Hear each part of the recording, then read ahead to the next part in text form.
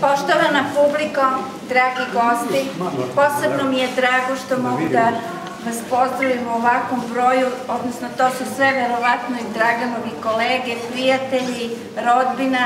Želim da vas pozdravim u ovom prostoru u ime galerije i da po, ja ne znam koja je ovo njegova po redu samostalna izložba, deseta, evo on me podsjeća, ali ovaj, zaista mi je drago da u ovakvom broju možemo i njegove slike da sagledamo.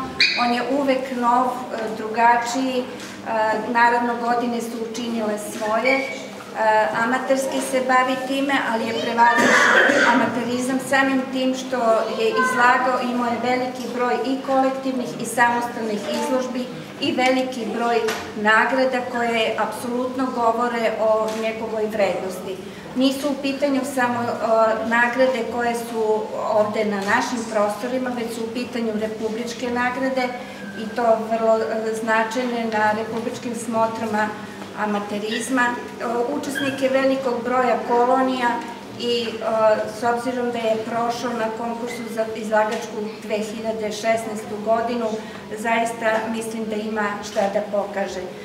Vi ćete u katalogu videti više podataka o njemu, ali ja ću par svojih utisaka reći.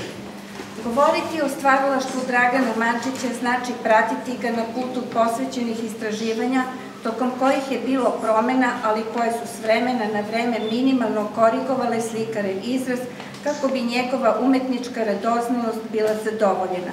Prepoznaje se po njegovom ekspresionističkom izrazu, uljima, specifično kolorita i motivima iz Pirota i njegove okoline.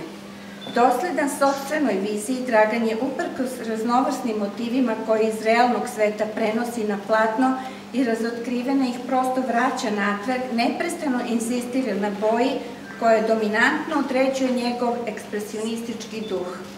Jednom prihvaćena boja kao izraz, kao gest vizualnog ostvarenja, unutrašnjih doživljavanja i preživljavanja, zauvek ostaje ključni element slikarevog govora.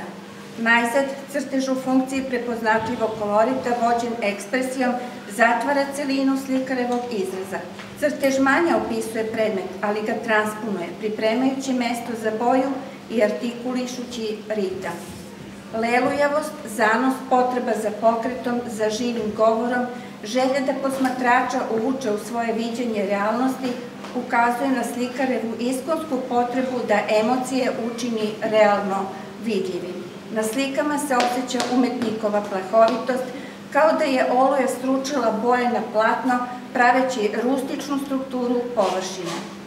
Autor drži pod kontrolom organizaciju građenja kompozicije i istančanom intuicijom postavlja valerske odnose.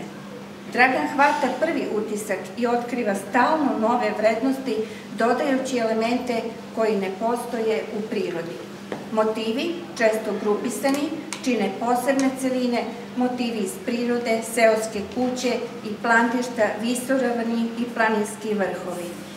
Cvetni motivi u pojedinim stvarlačkim i životnim fazama bili su inspiracija i podstek širokom slikarevom duhu koji je nastoja da prodre u njihovu bit i iskaže ih kroz prizmu sobstvenog viđenja koje nas sugestivno mami svojom snagom, ali i unutrašnjom poetikom. Dragan vidi lepotu koja je dostupna samo onom ko ume da je spozna. Sasvim je neizvesno kojim će pravcem Dragan dalje krenuti, zbog oscilacije poetike, izraza koji je prisutan, a vizija je uvek jača od same stvarnosti, ukoliko stvarnost uopšte postoji za umetnika. Pozivajući vas na pažljivo razgledanje, ja proglašavam izložbu Dragana Mančića otvorenom i nadam se da ćemo ga još nekom prilikom videti. Hvala vam.